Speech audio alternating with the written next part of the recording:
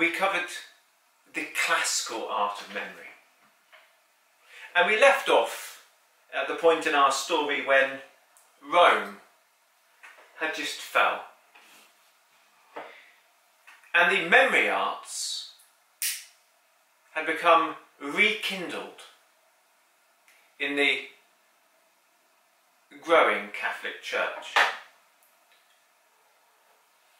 Early church fathers, such as St. Augustine, who was born around uh, 430 years AD, were well trained in the classical art of memory uh, for their rhetorical speech making. And there were uh, some texts which survived the fall of Rome which really did describe the techniques of the memory art in detail. One of the most influential being Rhetorica ad Herennium, uh, speech making for Henry. This text really went in depth when it came to the whole creation of a memory palace.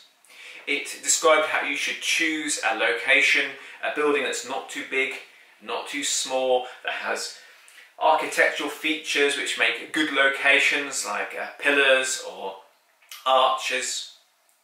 It talks about making sure that that building that you choose, if it's a real one, should be outside town so there aren't many people there.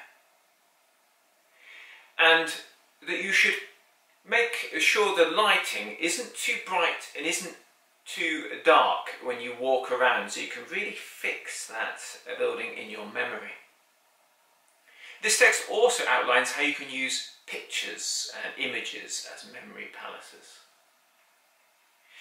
There are also philosophical writings such as those of Aristotle that covered the art of memory in a, a more thoughtful uh, manner and really went in depth as to how the, the mind worked in terms of recalling things.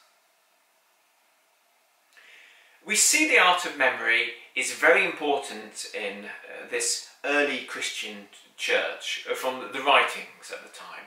In fact, St. Augustine himself talks about how in the spacious fields of his memory, so this is his, his memory palaces are, are outside, and he talks about how when he goes into these uh, palaces, he finds the thing that he can't recall from experience. He actually finds divinity.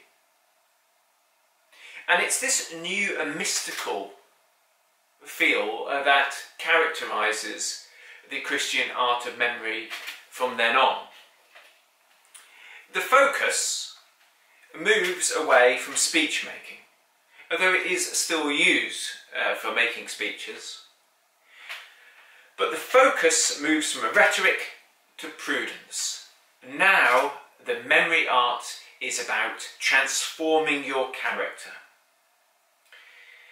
There is a strong conviction that whatever you put in your mind becomes you. So memory palaces start to become based around biblical lessons and places we see whole manuals which are based on the wings of an angel and a picture of the angel that you will memorize and every single feather has one of the most important points in your path of uh, salvation. We see mysterious looking images which are an epitome, a summary of the whole of each one of the Gospels. Any building mentioned in the Bible uh, King Solomon's temple, uh, the tabernacle, uh, Noah's ark, anything that can be used as a memory palace is used. We even see the coat of many colours and the breastplate of Aaron, and they're used creatively both for sermons but also uh, to form moral lessons which are going to transform you in your nature. As time goes on, this art of memory for self-transformation becomes perfected with a great degree of beauty and accuracy. St. Albert the Great writes about how in Aristotle you can read that the human mind can't think of anything without an image forming. So you should make sure that those images that you recall are virtuous and good and positive. He even goes as far as researching which images work best and how this mechanism works. So what he says is, is if you remember an image with a great uh, focus, um, if you practice your meditatio, your meditation on a memory image, to the degree that you connect with it fully, this causes a transformation in your character in the same way that a big experience does. So the actual example he uses is if you get bitten by a wolf, you don't need to learn, that goes straight into your deep mind, into what he called your estimative ability. And this is um, your animal instincts. And the same is true with a memory image that is formed with great intensity. So we can see this mechanism is something very interesting and something that some people watching this video will already be aware of. In the Oriental teachings, in yoga and Buddhism, there's this idea of samadhi or satori. So their meditation does lead to a oneness uh, which is meant to bring the same kind of transformation of self. It's just that memory uses an image which is built up so your focus is kept by detail. So you have a, an image of an angel of truth, and angel has lots and lots of detail that allows you to connect with it and really rest your mind on this concept of truth for a long time. Maybe every piece of clothing represents a gift of truth. Everything they hold represents a blessing that truth brings. So by resting your mind on this level of detail and remembering poems and certain bits of information connected with truthful action, you can become at one with it. Now, Albert the Great student, uh, St. Thomas Aquinas, he felt that the best form of images for this kind of transformation are what he called uh, corporeal similitudes. That would be anthropomorphized images, images of people. So if you take a vow, he said to stop this vow slipping from your consciousness, you needed a figure to associate it with, which could be an ideal person who really managed to do that, an angel, a virtue, some image that allowed you to remember it.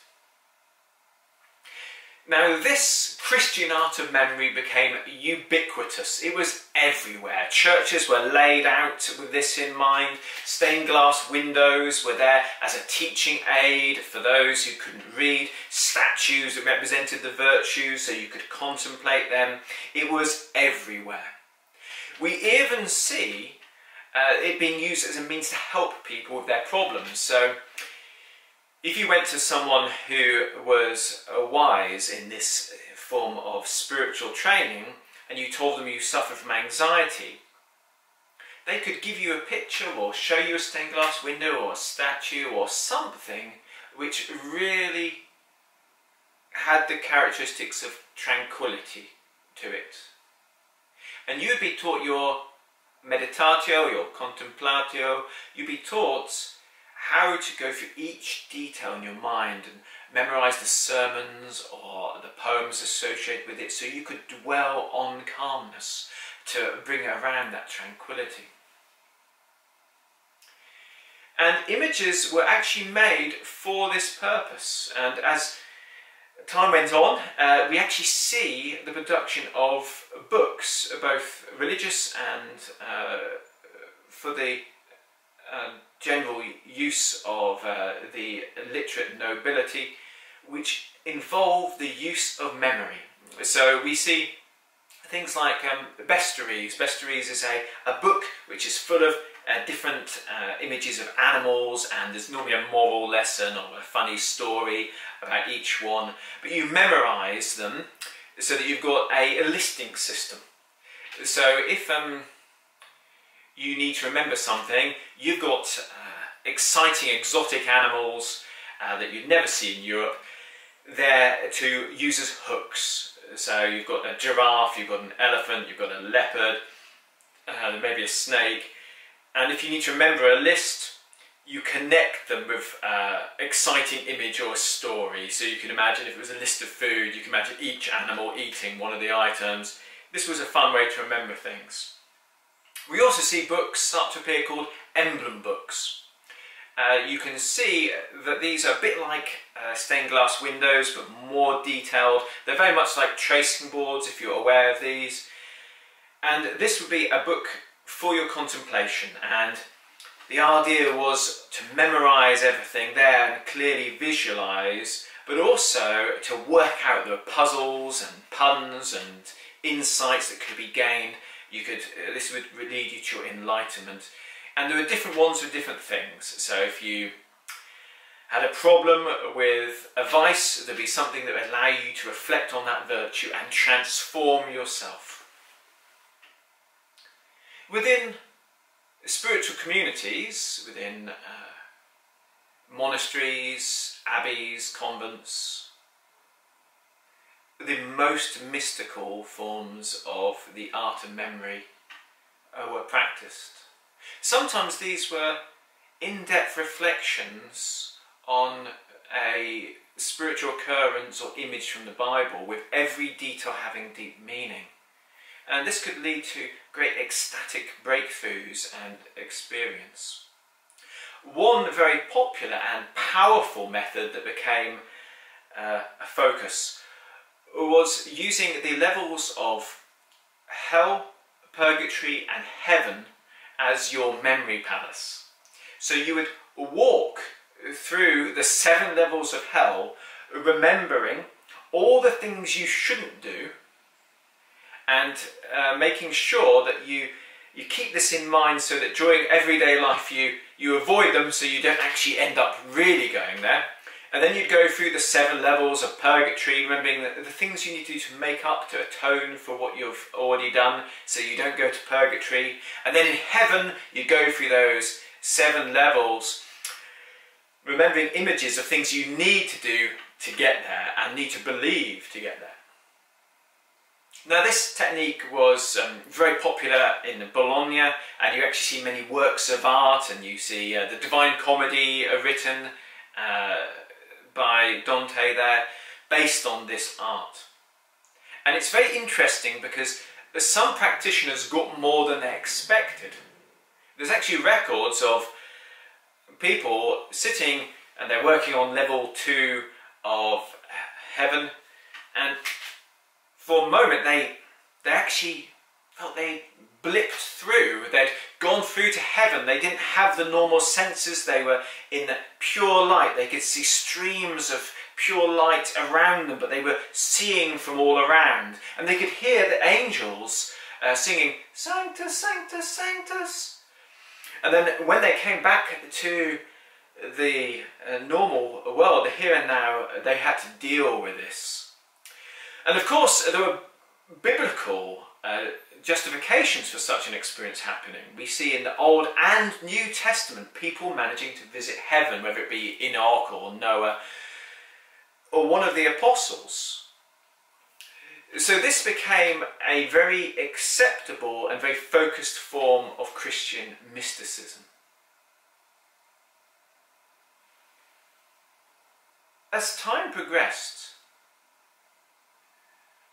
the Renaissance started to appear,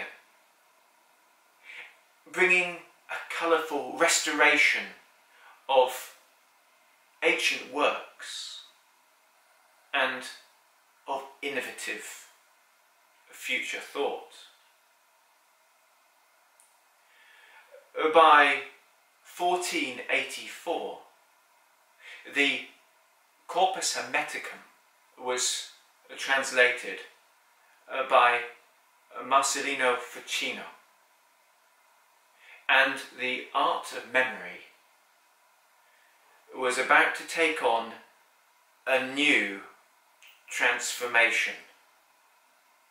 A transformation which will be the subject of our next video.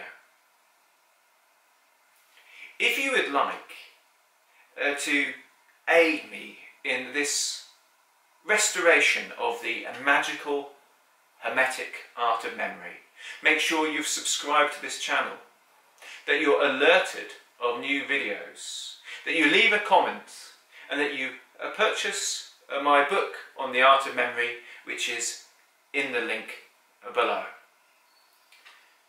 My name's Martin Faulks, and until next time, let's let every word, thought, and action count.